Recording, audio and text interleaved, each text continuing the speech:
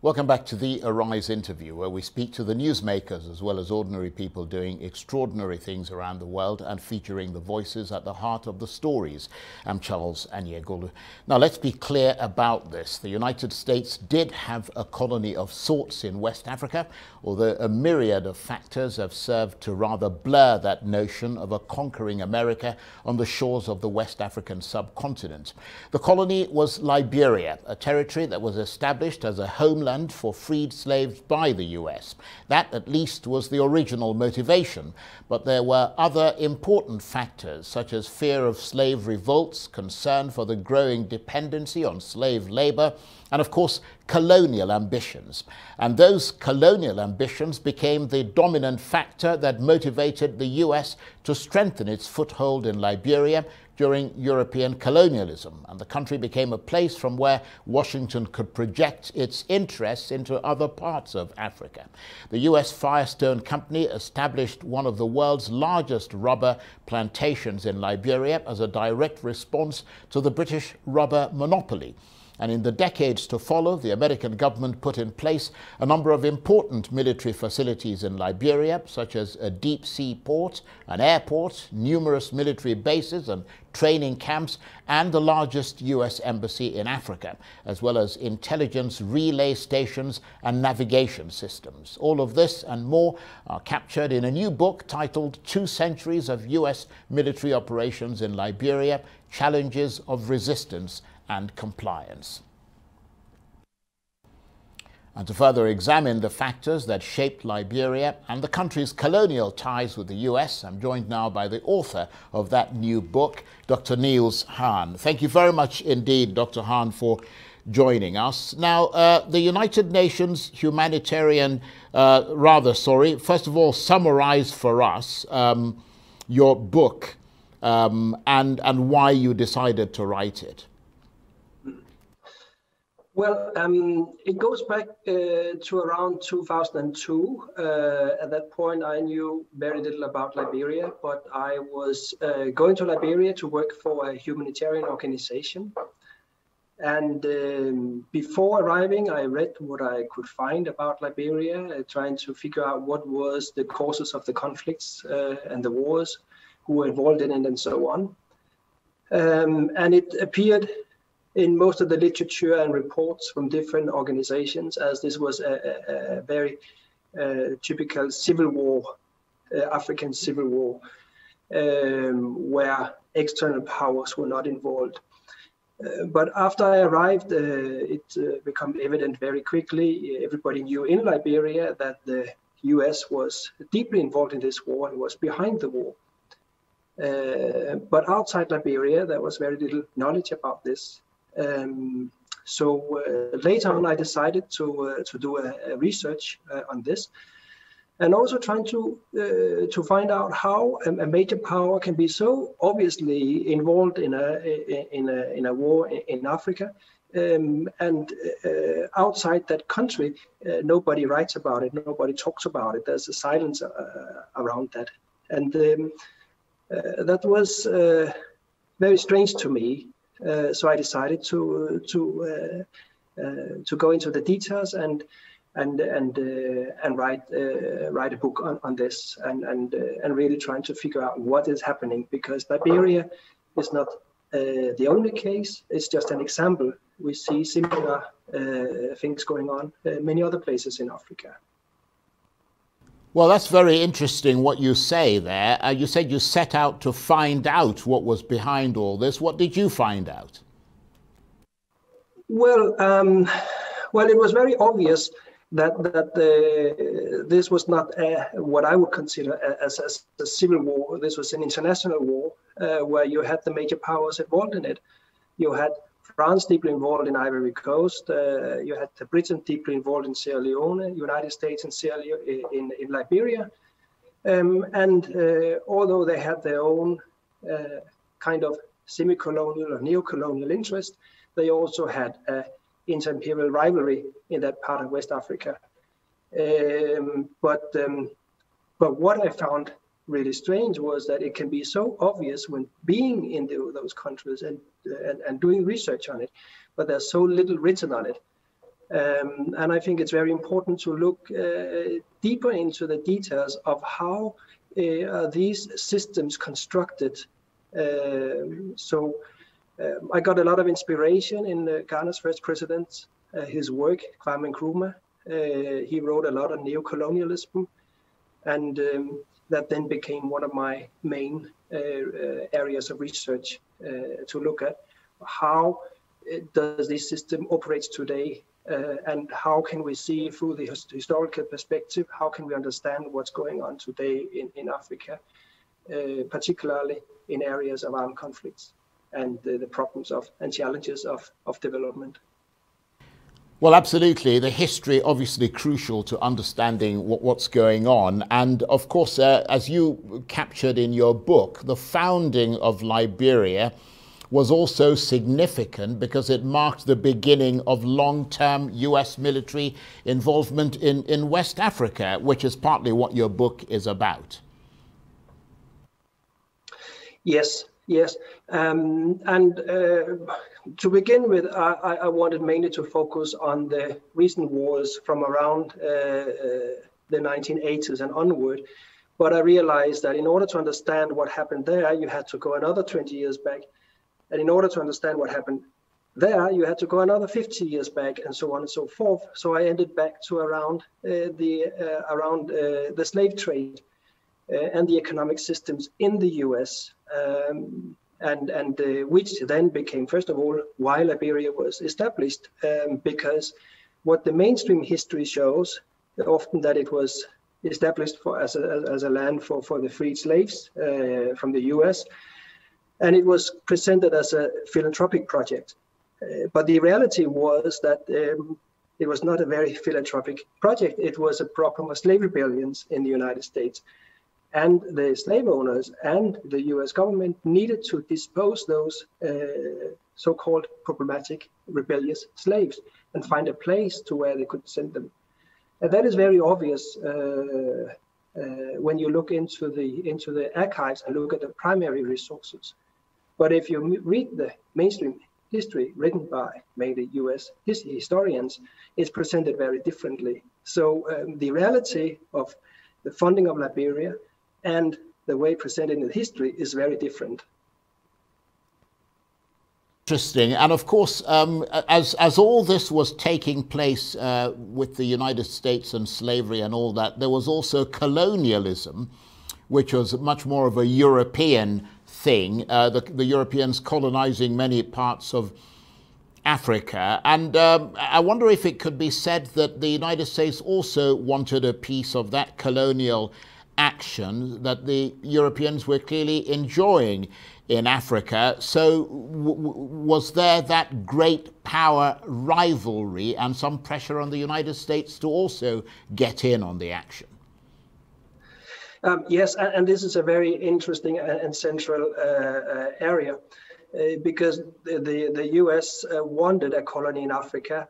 Um, but the, uh, the issue here that's very important to keep in mind is that they wanted, did not want to spend that much money on it. Um, and they looked at the neighboring uh, Sierra Leone and they looked at how expensive it was to administrate Sierra Leone as a crown colony of the, the United Kingdom. So the United States wanted to do it in a cheaper way and therefore do it more indirectly without deploying the full administration of American administrators, but trying to use um, uh, local people to organize and form the government, but make sure that people in government would comply with the wishes of the United States government. And um, that turned out to be more uh, challenging uh, because there was a lot of resistance from uh, from both local people and also those uh, uh, freed slaves that were sent to Liberia. So it has been very difficult for for United States to to maintain a, stable country, although they did succeed for many years.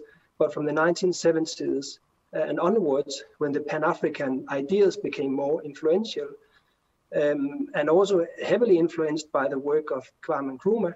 And uh, when he uh, conceptualized and identified the modalities of neocolonialism, the resistance uh, in Liberia became quite strong.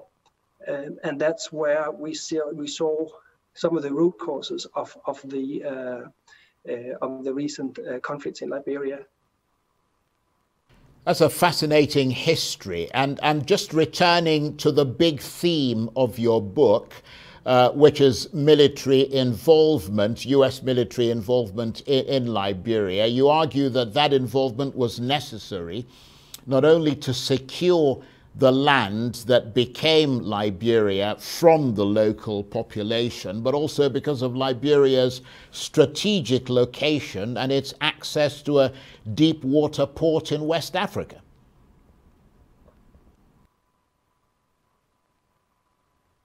Yes, absolutely. Um, that was that was very important too. Um, uh, there are many discussions and different views on this, but much indicates that this became Uh, further down uh, uh in uh, or, or, later up in the history, where first of all the problems was to find a place to to to send those rebellious slaves from the United States. Then second, more interest came when first they had secured the land on the West African coast. Um, and no doubt that was officially uh, an American colony. It was also established by the society that was called the American Colonization Society. Um, it wasn't before around 30 years later that they decided to uh, uh, to have it more of what we would identify today as a neo-colonial structure. Uh, that then uh, uh, comes from the 19 around the 1950s, um, and then from there that system develops of different interests that then grows over the years and, and throughout history. Okay, well, I mean, it's a very interesting story, uh, Dr. Uh, uh, Hahn. Uh, we, we, obviously a lot to talk about. I mean, we're going to take a break in a minute, but when we come back, I want to talk about another very important aspect of um, of all this, which is. Uh, and that's an important aspect of colonialism in any case, uh, which is the economic involvement of, of the US in Liberia, and also how this inevitably led to the creation of a ruling class and also created inequities um, within Liberian society, which eventually, of course, led to a conflagration and, and a civil war. Uh, stay with us. Uh, you're watching the Arise interview. Plenty more still ahead as we continue our chat with Dr. Niels Hahn, author of Two Centuries of U.S. Military Operations in Liberia. Stay with us.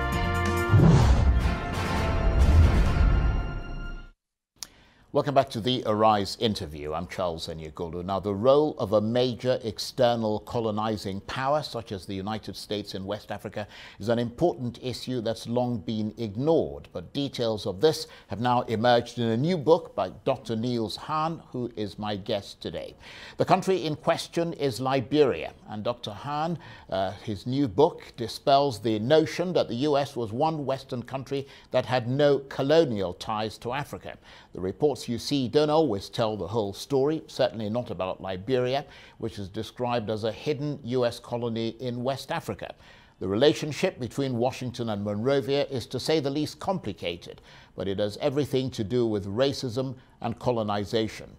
And the new book by Dr. Hahn's provides an in depth analysis of the factors that shaped Liberia from its founding to the present day and the inextricable part U.S. involvement has played in that history. And Dr. Niels Hahn, author of Two Centuries of U.S. Military Operations in Liberia, Challenges of Resistance and Compliance, is still with me via WebEx. Thank you very much indeed for staying with us. Uh, and we were talking uh, before we went on the break about the economic involvement, which is always a major factor in colonization. Firestone moving in to develop rubber plantations, massive plantations that required huge amounts of labor, and eventually resulting in a system of forced labor, which was in fact pretty much like the way slavery that the US had sent free slaves to get away from um, was, was set up. Um, yes, you, you rightly so. Um, yes, in, in, one way, it could be seen as uh, as the uh, the this uh, the plantation the, the, the slave uh, uh labor plantation system was replicated in um, uh, in Liberia by Firestone.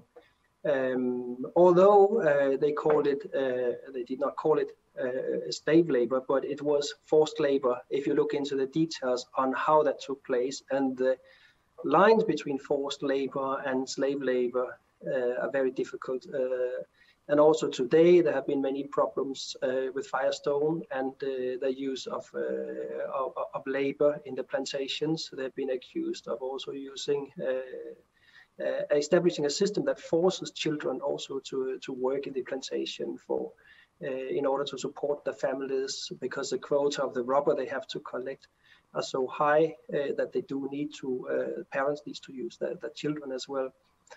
Um, this is very controversial and it's going on today. So in some ways, uh, we could say that uh, little has changed uh, throughout history. And I think that's why history is so important uh, to understand, because we can see how things continues, although it's developed in new shapes and new forms. Uh, it becomes clearer when we have the historical perspective. Uh, and of course, inevitably, uh, Dr. Hahn, a ruling class was created and inequalities became more apparent, didn't they? Um, yes, uh, inequalities uh, existed uh, in, in, many ways uh, and, and, changed over history. Um, the ruling class were not a, single uh, homogeneous uh, uh, class. It was also structured internally.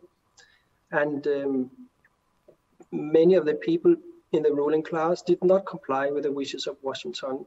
So it was a quite unstable system for for uh, for for the United States uh, government uh, for many years, and mainly it was just stable for around 1930s to around 19 early 1970s, during the uh, administration of, uh, of President uh, Tubman. then when he died and Tolbert came into power, who also would be considered as belonging to the ruling class, things changed significantly because uh, Tolbert was influenced by uh, the uh, Pan-African ideas and in particularly by Ghana's first president, Kwame Nkrumah, and uh, there we saw the resistance in Liberia increase significantly uh, in Liberia. And that's where the United States started to lose control over the, uh, over the, uh, the country. And that's also from where I would say that the uh, recent uh, conflicts starts from the 1970s. the United States then had Tolbert removed in 1980 and the way in which they did that is detailed in the book. And I think it's very important to, uh, to study that because we see many similar uh, things going on today in, in, different countries where the same techniques are applied. Uh, for example, how civil society organizations can be organized and mobilized uh, against the government, how uh, information warfare, propaganda uh, is, is very crucial Uh, in, in making uh, making a, a, change of, of government uh, if they do not uh, comply with with Washington. yeah, that, um, that's a, that's that that's a very interesting point that you bring up because I was gonna because I mean you had these ethnic rivalries and then you had the assassination of President Tolbert um, you had unstable government, and then you had a devastating civil war. I mean, did all this happen as a result of a deteriorating relationship with the US, or was Washington complicit in sowing the seeds of discord and helping them to flourish as part of its Liberia policy of command, control, and compliance? Um, yes, in, indeed. I, I, think it's the same old colonial strategy of divide and rule. Uh, you need to have divisions uh, in different levels of, of society so you can set different groups up against each other uh, and therefore but direct them in a way that that it benefits uh, the uh, the, the, the imperial power. Um, and I think we can see these strategies have been applied from, from the very early early uh, um, empires. Um, and uh, well, yeah, it, it, changed throughout history the way it does because uh, the techniques and technologies and, and information flows and so on are changing, and therefore uh, the way in which it takes place is changing. But fundamentally, the basic principles uh, are still the same, and, and that is still going on today. And uh, Dr. Hahn, I read one review that said that one of the great strengths of your book is its ability to weave together all these competing factors to explain not only US involvement in Liberia, but how that impacted on political developments that shaped Liberia. I mean, that must have been quite a task for you. Um, yes, uh, yes. It, it, also took, took took many years uh, to weave this this together and also get an overview of, of, a very complicated history. Not least because a lot of the history that has been written on Liberia uh, has a particular uh, political angle, and also, uh, as we know, history is often often written by uh, by, by, by, the by, by the strongest powers and and, uh, and those uh, who controls the the, the, the, the means to to write the history.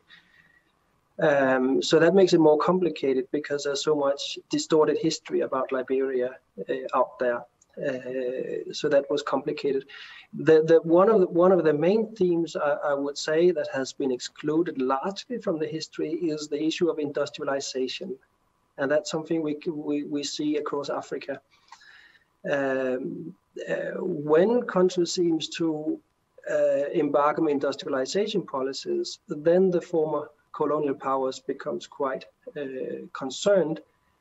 Um, and if we link that into the different development theories, we can see that uh, in order to increase uh, a nation's power, you must have a strong industrial base.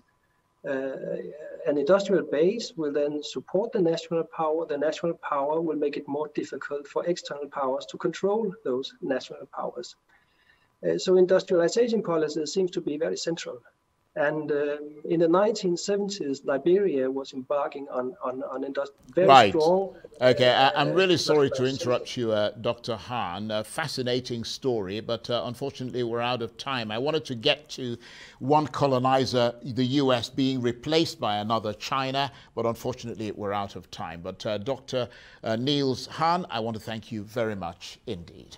That's it for this edition of the Arise interview. Join us again tomorrow from me and the entire team here in Abuja and elsewhere. Bye bye, and thank you for watching.